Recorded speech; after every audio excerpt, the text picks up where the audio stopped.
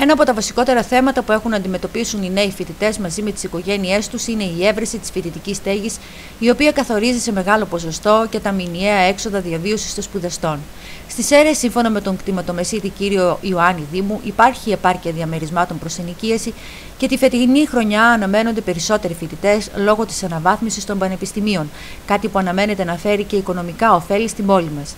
Μικρή αύξηση αναμένεται στις τιμές των ενοικίων και σημαντικό ρόλο παίζει σε αυτό η κατάσταση του διαμερίσματος. Υπάρχει ε, ένας ε, αρκετά σημαντικός αριθμός ε, μικρών διαμερισμάτων θα έλεγα προς ενοικίαση, όχι βέβαια ο αριθμός που θα θέλαμε ή ο αριθμός των μικρών διαμερισμάτων που υπήρχαν πέρυσι και προπέρυσι. Οι λόγοι είναι το ότι με την αναβάθμιση του Ιδρύματος εδώ θα συναντήσουμε περισσότερους φοιτητές ακόμα από πέρυσι που ήρθαν όχι μόνο να εγγραφούν αλλά και να μείνουν στην πόλη μας, πράγμα το οποίο είχαμε να το δούμε από το 2011-2012. Ε, τι, τι σημαίνει αυτό, ότι πολλοί φοιτητές κάναν την εγγραφή αλλά πηγαίνουν ερχόντουσαν ε, από τις κοντινές πόλεις με λεωφορείο ή με κάποιο άλλο μέσο.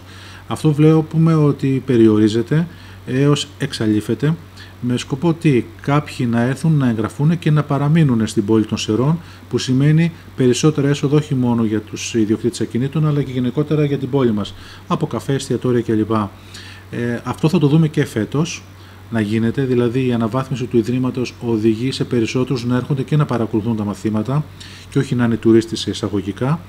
Ε, υπάρχει βέβαια και ο περιορισμένος αριθμός των ακινήτων σε σχέση με πέρυσι κατά περίπου 40 με 50% και αυτό έχει οδηγήσει ήδη σε μία ε, αύξηση τιμών στα ενίκια στην πόλη των Σερών.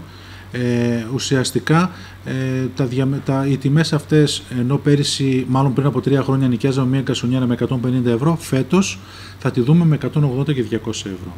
Δηλαδή έχουμε μια αύξηση από 30 έως 50 ευρώ ε, ανακομμάτι και το πόσο θα αυξηθεί μια, η τιμή ενός ενοικίου, ενός μικρού διαμερίσματο, έχει να κάνει και με τις παροχές. Αν είναι επιπλωμένο και αν έχει ατομική θέρμαση, ατομική τηλεθέρμαση, ε, φυσικό αέριο ή ε, πετρέλαιο. Όταν οι παροχές αυτές σε ένα διαμέρισμα είναι πάρα πολλές, δηλαδή έχουμε ατομική θέρμαση, είτε τηλεθέρμαση φυσικό αέριο, έχουμε επίπλωση, καλή επίπλωση και έχουμε ένα καλό ακίνητο ανακαινισμένο και δει στο κέντρο, τότε η τιμή σαφώς ε, δεν έχει καμία σχέση με τις τιμές που βλέπουμε πριν από 2 ή 3 χρόνια. Σε ό,τι αφορά τώρα τις αλλαγές που σχεδιάζονται να γίνουν από το Υπουργείο Οικονομικών σχετικά με τον τρόπο πληρωμής των ενοικίων, η οποία θα αρχίσει να εφαρμόζεται υποχρεωτικά μέσω τραπέζης είτε ηλεκτρονικά είτε στον ΚΙΣΕ, προκειμένου να περιοριστεί το φαινόμενο της φοροδιαφυγής, ο κύριος Δήμο ανέφερε ότι το μέτρο αυτό είναι καλό και ότι ένα μεγάλο ποσοστό από ενοικιαστές συναλλάσσονται ήδη μέσω τραπέζης. Είναι μια κίνηση την οποία την ακούσαμε τώρα τελευταία από το Υπουργείο Οικονομικών. Ε, πριν από 3-4 χρόνια ξεκίνησε η υποβολή ηλεκτρονικού μισθωτηρίου συμβολέου έτσι ώστε ε, να, ε, να πιάσει το Υπουργείο κατά κάποιο τρόπο την φοροδιαφυγή από τα νοικιαζόμενα διαμερίσματα ή καρσονιέρες. αυτή την προσπάθεια κάνει και τώρα, δηλαδή μέσω από το συγκεκριμένο μέτρο. Ε, θα δούμε πώς θα συνεχίσει. Βέβαια οι Έλληνες ε, πάντα όταν υπάρχει κάποιο μέτρο υπάρχουν και κάποια παραθυράκια.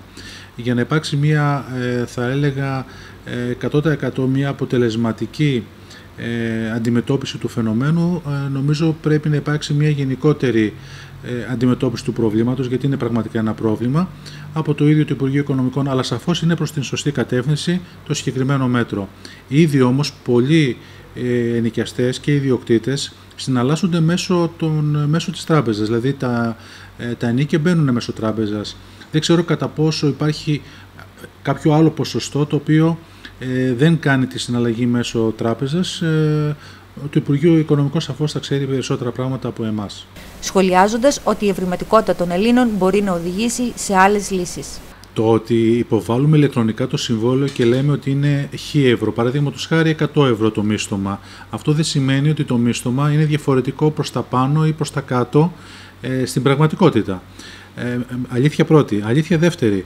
Το αν συμφωνήσουμε στα 100 ευρώ και γίνεται πάλι η υποβολή του μισθώματος ε, ηλεκτρονικά, δηλαδή μέσω τράπεζας, αυτό δεν σημαίνει ότι πάλι δεν μπορεί να υπάρχει κάτι ε, δεύτερο ή τρίτο από πίσω. Έχετε δίκιο σε αυτό το οποίο λέτε. Ε, γι' αυτό είπα ότι πρέπει να υπάρχει μια γενικότερη αντιμετώπιση του προβλήματος αλλά και της φορολόγησης γενικότερα στην Ελλάδα.